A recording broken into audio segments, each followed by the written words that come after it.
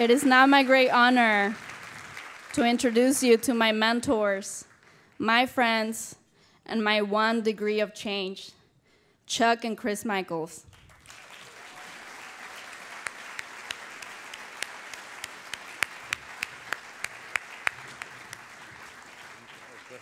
Wow.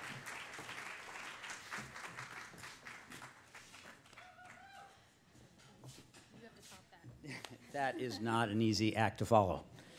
Um, about seven years ago, my wife and I met Angie for the first time. She was a high school uh, student. She was shy and she had a lot of optimism in her eyes. And to think now, seven years later, she's talking in front of 600 of her closest friends uh, in an amazing speech. What a woman. Thanks so much.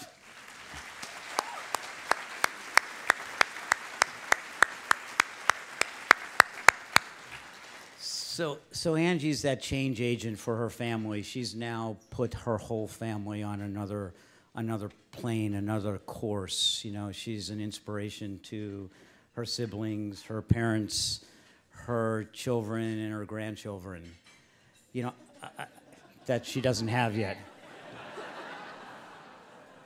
you know, as I was preparing what to say tonight, I, I thought that every family always has a change agent. You know, Mitch uh, Cohen mentioned his grandfather, and uh, I think there's always one person in that family that starts everybody off on a different plane. You know, in, in, in my family, it was my dad. And quite frankly, my dad has a lot in common with a lot of the students that we help in 10,000 Degrees. Uh, my, my dad was born during the Depression. He was born into a family where his father, my grandfather, left the family when he was less than one years old, so he never knew him. He had a very challenged uh, life with his mother, so that when you talk to him about it, he would say sometimes he was raised by his mom, sometimes by his grandmom, and sometimes in the foster care system. By 16 or 17, he was living on his own, supporting himself, trying to finish high school, which he did, and then he went to college for a couple of years. Um, college was just too much with life going on, and so my dad, after a couple years, had to drop out. But during that time, he met my mom, fell madly in love, as hopefully everybody does at one time in their life, and they got married. Uh, talking to my dad, obviously I wasn't around at that time, talking to him about that time in his life, he said that was some of the best years of his life, but some of the most challenging. He worked two and three jobs just to put enough money on the table to pay the rent and food. Uh, in 1959, they gave birth to my sister, and then I came along in 1962. Um, the things I remember kind of in my early uh, childhood were we had a modest home on Long Island. My dad got up in the morning, he worked, he came home in the evening, and I was basically raised by my mom. When I was 11, my mother died unexpectedly, and, and that changed the course of our lives again. So my dad had to assume the role of mother and father. My sister was my older sister and my mom, and then I had obviously lost my, my mom. I just remember this whole time frame, my dad always being optimistic and telling me and my sister that we were going to college. It wasn't a question of if, we were going to college, and that we could change our own lives if we would just get that college degree. That was kind of the golden ticket to us. So in 1983, my sister and I both graduated on the same day from Arizona State University, and it was probably one of the proudest moments of my dad's life.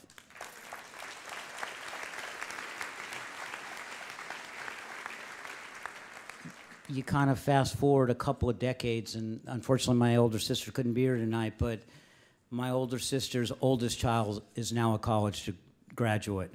Her middle child is graduating in August and her youngest son is graduating in two years.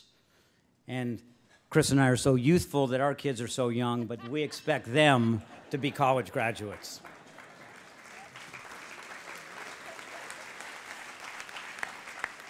So, in the course of you know a few uh, decades, that will be seven college grads from the Michaels family.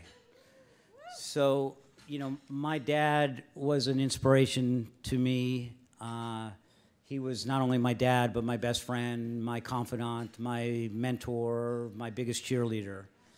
Um, as some of my close friends who are here tonight sharing this moment with me, my, my dad became ill a couple years ago.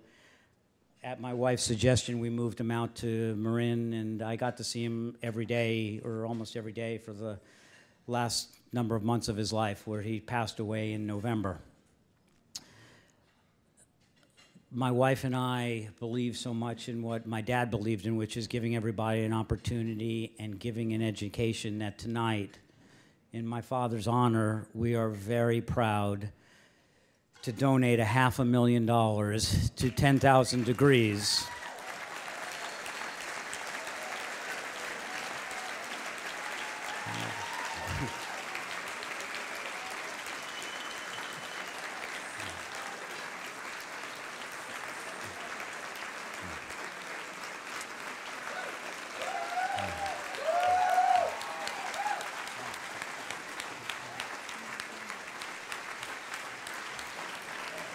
Thank you.